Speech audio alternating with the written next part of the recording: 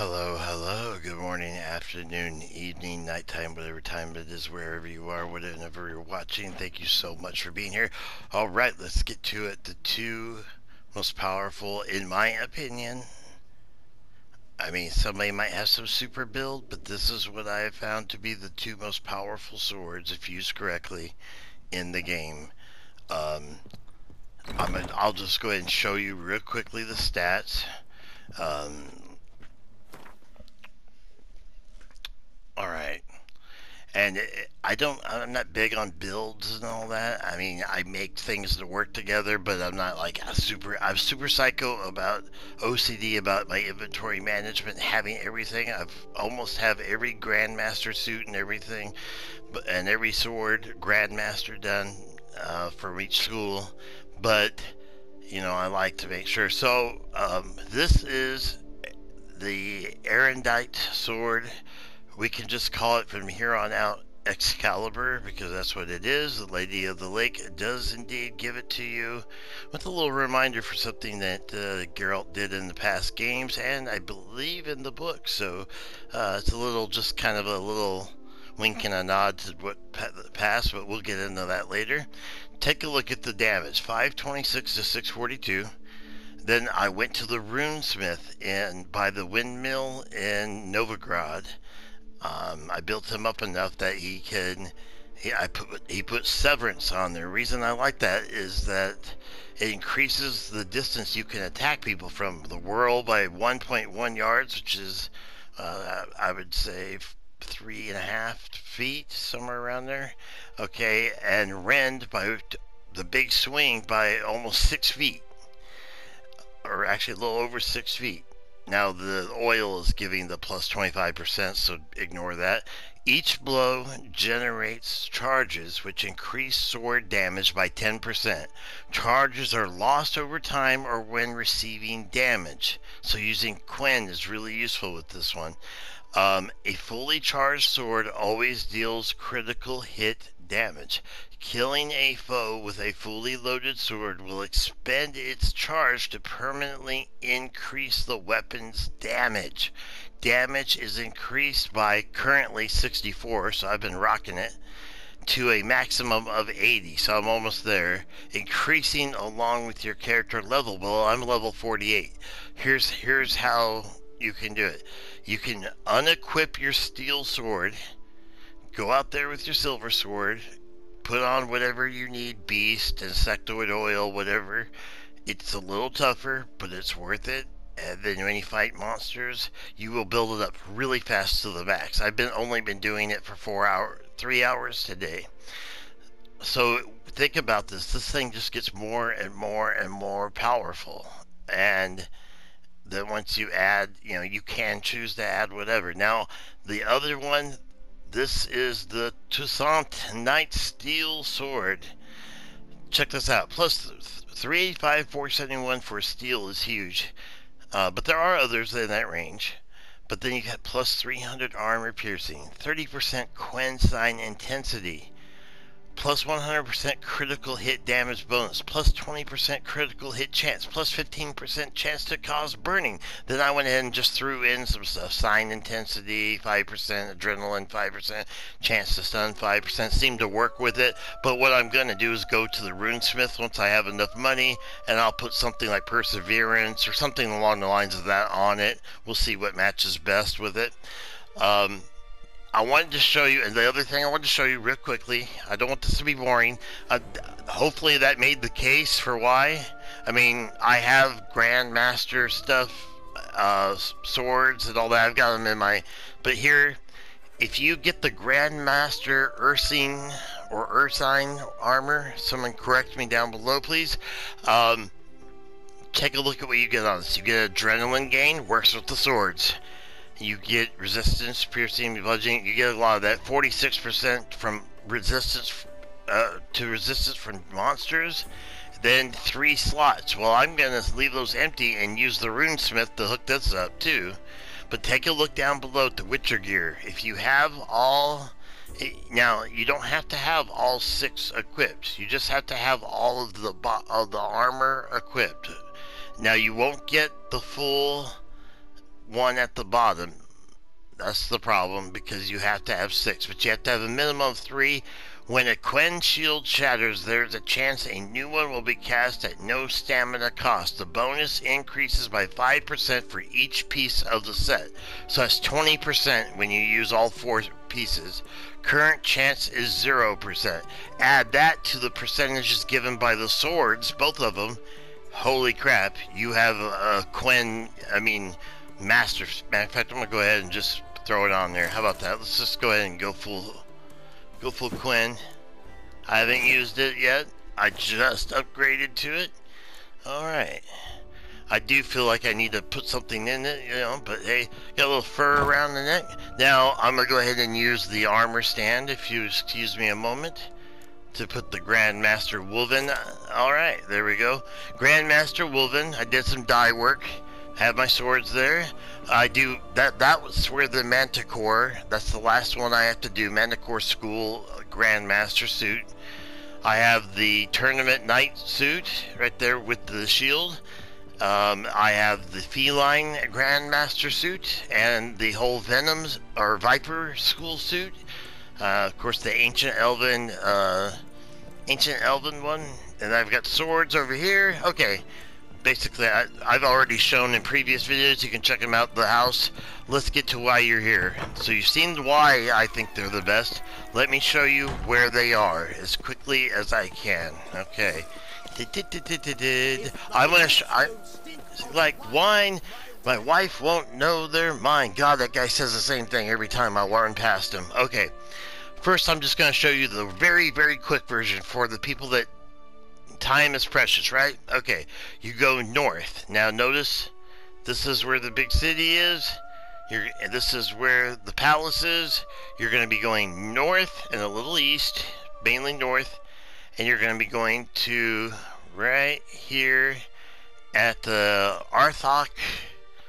Is that how you pronounce it? Arthok Palace Ruins. It's the Elven Ruins where a whole battle group, Hans, uh, I think it's pronounced Hans or Hans, of uh, bandits were.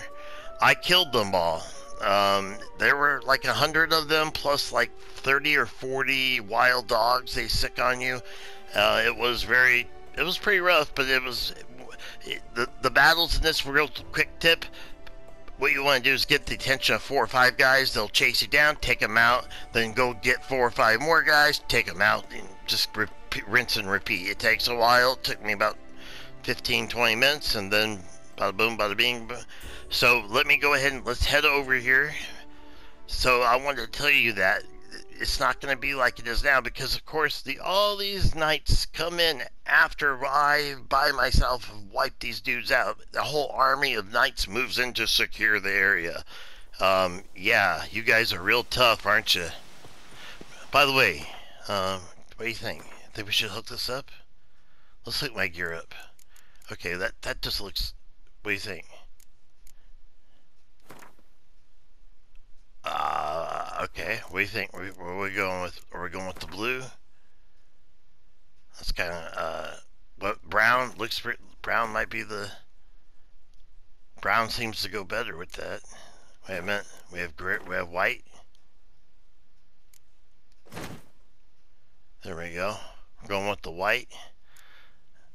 What about if I put some blue on the gloves? No. I'm gonna put some. Uh, I want the gloves to look crazy. Sorry for doing this in the middle of what's supposed to be, but this is live. I did another one. Wow, I have a lot of stuff I need to put in here. Okay, so we've got that. That actually looks really good to me. No, that doesn't stand out enough. Okay, so let's go. What if we went... What if we went red on the gloves? That would look that looks kind of cool. But I have a better idea. Hey, I've got to have my dude hooked up, right? Okay, so let's see. There we go. There we go. That matches. There we go. That match. Boom. And then one more brown for about the boots. There we go. That way, if I step in any crap or anything, Nobody will notice. Okay. Alright, so we're going to run up real fast. Now, of course, originally when you do this, there aren't a bunch of knights, lazy knights that come in afterward to clean up. You're by yourself, you're fighting off uh, drowners, you're fighting everything. But once you get up to here, oops, let me go around over here. Oh, get my way, you schlongus. Yeah, you should be all bowing down before me. I did all the killing here. Okay, I got so much loot. I got like 10,000 crowns worth of loot. You come up here to the top of this. Once you fight your way up, and it's, I believe it's in here. There was, or it was just above. Um, I can't recall. It's in this general area, right up in the center area, right? I believe right around here. You go up this ladder, okay? Drink! Give me a drink! Get out of my way. Okay. Let's light that fire. Okay. And that was, there you go, that's where, and now this is where you get the steel sword, the best steel sword in the game. Now, of course, you're getting the diagram, so that means you do have to get the craft, you know, the, the parts to craft. You have to get the crowns and money to craft it and make it. But once you do, of course, use the Grand Master down the city, and you'll be good to go and then do the same thing. And I'm going to be going to the runesmith in shortly to fix my own up. Oh, now let's quickly get you. Now you know where that is. Let's quickly go over to where I caramba. Let's see where I'm going. I want to make sure I'm actually uh, running correctly. Okay. I, I, I like to let Roach, you know, get his rest when I can. But uh, when we get where we're going, I'm going to show you, uh, I'll show you this hooked up gold armor. It looks pretty cool. Most of you, I'm not saying I'm, I'm not some master, I've just played this a lot. Uh, many of you have already figured these things out. But this is, in my opinion, the best, what I've come across. Okay, so if you take a look at, at all of Toussaint, I'm to say it, the, the basically this is France, okay? This is France. They're just calling it something different. Okay. Right there. You see that? It looks like a donut. The, the palace the tournament grounds, west and slightly north of the tournament grounds, which is, of course, right next to the, right next to our right actually you could just go to your home the home that you own and just go west okay so let's go now getting to it a little bit closer is actually right here. Okay. Why is that showing up? There we go. Okay, so we're to head over here. And quickly, quickly, quickly, I'm going to show you the whole Lady in the Lake thing. I'm going to try not to spoil too much because it really is fun. Especially if you've played Witcher 1, you don't have to, or 2. If not, go check out summary after you do this part, okay? Um, get some. Hey, Roach is waiting for me. Thank you, bro. Check out his gold plate, man. Oh yeah, he's rocking it. Run, Roach. Hey, come on, man. You don't have to be so rude. I love what if you check my previous video when uh, Geralt is essentially tripping on whatever mushroom soup she gave him, and and uh, Roach starts talking, and uh, she, uh, a mare, has a male voice and uh, it's just so funny. He's like every guy throughout the whole game, go ro- run, run, Roach, run. He's like, what the f do you think I've been doing this whole time? I love that. Okay, alert. Okay, so here we are. You can go in anywhere in the lake. I like coming in on this side. Let me show you where we are at because it's a little closer. Let's swim right there. I mean, but look, to, to, that's the actual closest, but it doesn't matter. You're talking about a matter of seconds. Now, if you were coming here and we're going to play this like this is your first time, so we're swimming in. Ah, this game is so beautiful. How is this five years old? Um, anyway, time flies, right? I didn't give this enough time. Now let's, first thing I want to do is show you this. This is where, when you come here, the first time, you will see a monk sitting on that stone in the center of this little pool.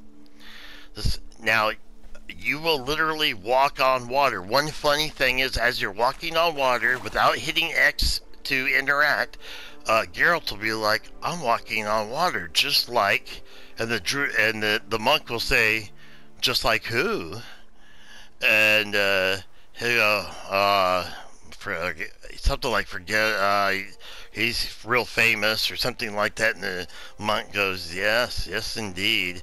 Obviously, Jesus walked on water, kind of thing.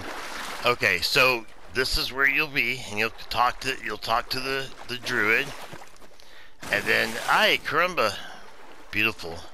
He just wants to swim. This armor is it's heavy. It's I gotta get, I need to get used to it. Okay, so after that, after you first meet him, you're gonna have to meet five chivalrous, chivalrous,